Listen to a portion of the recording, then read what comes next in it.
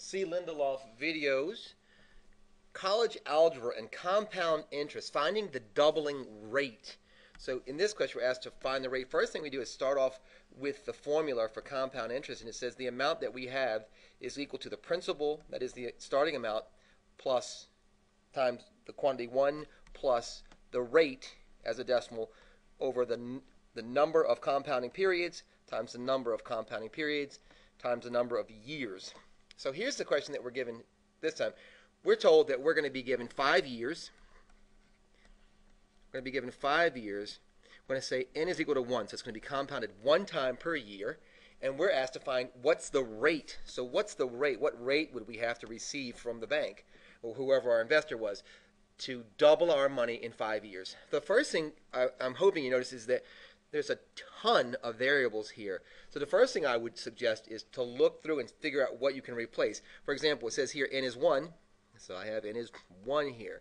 The time, which is 5, is t, so 5. Again, n is 1 here. So we're starting to get this thing pared down a little bit. So take a look. We have a is equal to the principal amount times 1 plus r, and we don't know what the rate is, but it's r over 1, so now it's just rate, isn't it, to the fifth power. Now we're down to having three variables, a, p, and r. We just want r. So look at this for a second. We don't know what our principal amount is, but we know that as, as a result of this investment, we want to get twice that much back. So a should be equal to 2p, right?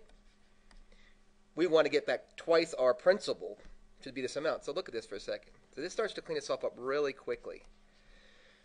So from here, you can see that we're down to two variables. However, we're not told what our principal is because it doesn't matter what the principal is. So what we're going to do here is this. The relationship between the principal and this quantity is multiplication. So we're just going to divide both sides by p. Now we have 2 is equal to 1 plus the rate to the fifth power. Hopefully you can see this. This is actually not that bad. This can actually be done. Remember where we started was such a mess, but we took our time, got rid of as many variables as we could that we could fill in with numbers, and the rest of them we tried to get replacement values. So this is where we are. So here we have 2 is equal to 1, the quantity 1 plus r to the fifth power. Of course, to get rid of that fifth power, I'm going to take the fifth root. So I'm going to take the fifth root of this thing. At the same time, I'm going to take the fifth root of 2. Be slow to do anything about the fifth root of 2. Just leave it, in my opinion, as the fifth root of 2, unless uh, you're a finance major, in which case I guess you'd have to come up with something. But can we agree that the fifth root cancels the fifth power, and that leaves us with r, uh, sorry, 1 plus r. We want just r, don't we? So we'll subtract 1 from both sides, and we'll get the fifth root of 2 minus 1 is equal to r. If you're a math major, a bio major, a chemistry major, leave it like this. This is the answer the way your professor would like it. However, if you're a finance major, a business major, an accounting major, this has to be given as a percent. So what you would do is go to your calculator. I'm just going to show you really quickly. I went to I did I went to my calculator and I put in our problem. This is the fifth root of 2 minus 1 happens to be 0.148 whatever. I am going to round up to make sure, right?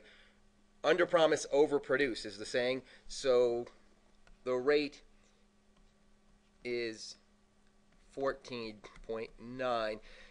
If you want to, you can say approximately, but if you were giving somebody financial advice, you would definitely say 14.9%.